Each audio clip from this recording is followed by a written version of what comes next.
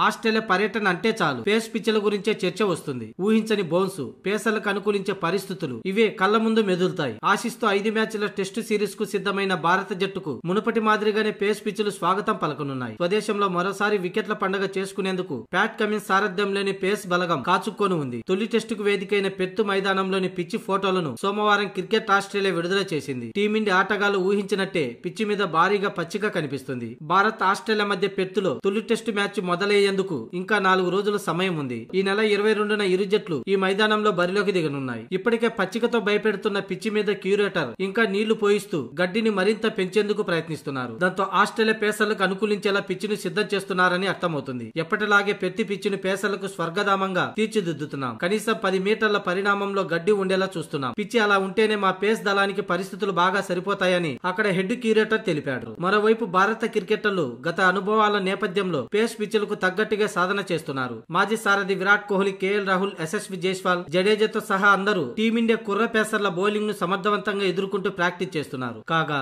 Captain Rohit Sharma స్థానంలో face గుర Jasprit Bumrah తొలి టెస్టుకు నాయకుడిగా వ్యవహరించబోతున్నాడు.